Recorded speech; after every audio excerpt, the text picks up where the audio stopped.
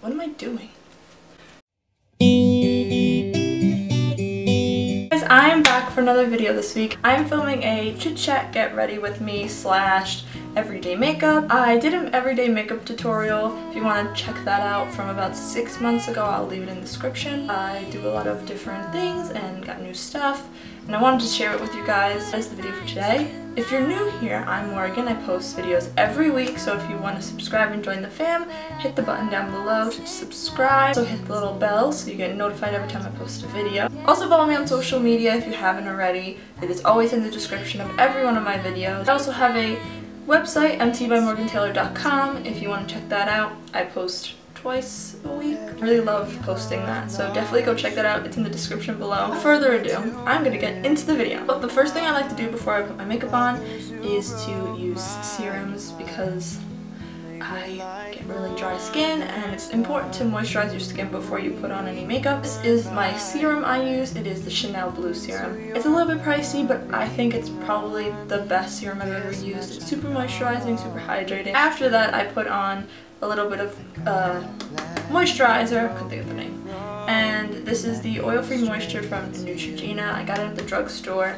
Super good if you have like skin, like dry skin or like a skin issue. Like I used to have very bad eczema right around my eyes and this stuff saved my life. If you are looking for an affordable moisturizer, definitely check out Neutrogena. They have a lot of good things for sensitive skin, which is super important. First thing I always do when I'm doing my makeup is concealer.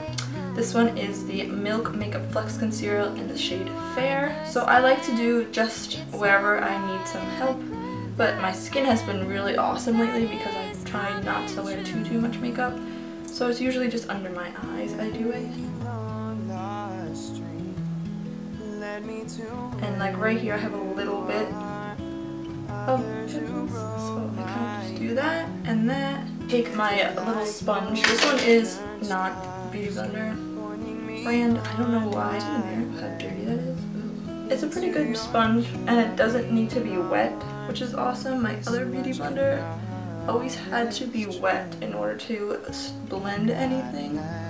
And it also has a flat end. It's from, um, I think it's 365 Beauty or something. It's in the drugstore. I didn't get a Beauty That is my concealer. That's it. My next kind of thing is contouring. I'm a contour fanatic because I have such a round head. I like to make my cheekbones stand out a little bit more. I like to use the Chanel bronzer in the shade 50, number 50. Health Glow, Healthy Glow Sheer Contour. I always have used this since I started using makeup. It's probably my favorite contour of all time. I like to apply it with the Chanel brush because I know how to use it. I have two of them because I broke one.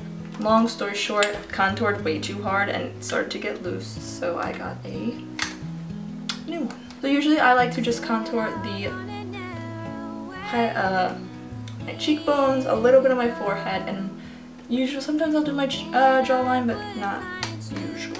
I also make extremely weird faces while I contour. It's gonna look extremely dark on camera, but I promise you, in real life, it is not that dark. That is my contour.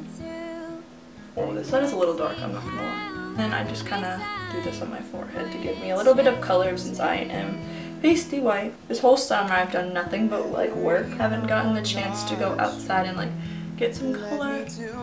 That is my contour. That's really all I do.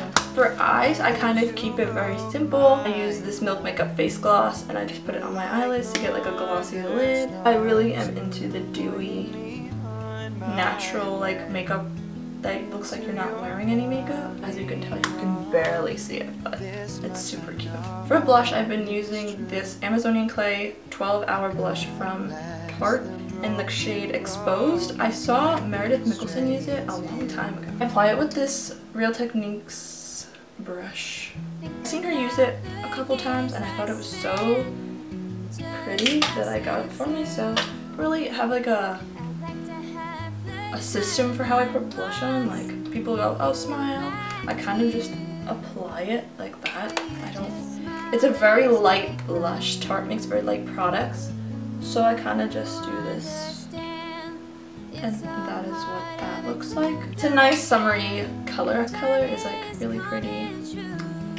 And the packaging is such a pretty pink. For highlight, I like to use a natural look. I do not like to look like I have glitter all over my face, unless I'm at Ultra, which is a different story. I used this new product I got, Milk Makeup highlighting stick in the color Lit. It is literally lit. It's awesome. I usually apply it with my finger so I don't put too much on. Kind of just take it and stick my ring finger in it like so. Look how pretty is that? And I just kind of go like that. Since my skin is already glowing on one side, I don't use a ton. It looks very brown in the packaging, but it is very, very, very light. I also like to take some of it and put it in the corners of my eyes to kind of give it a little bit of a um, glow. I do it down my nose.